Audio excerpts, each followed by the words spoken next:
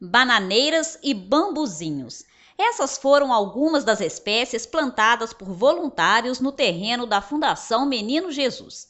Próximo ao local há uma nascente. A área está bastante danificada.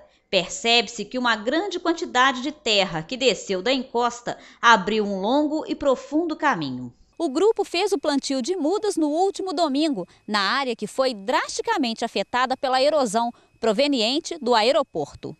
Há alguns anos, a justiça foi acionada sobre o crescente processo erosivo numa das laterais da pista do aeroporto de Ponte Nova. Na ocasião, a erosão já afetava a mata da Fundação Menino Jesus, cobrindo nascentes e deteriorando áreas de cultivo. No final de 2008, o Departamento de Obras Públicas do Estado de Minas Gerais liberou recursos para resolver a situação.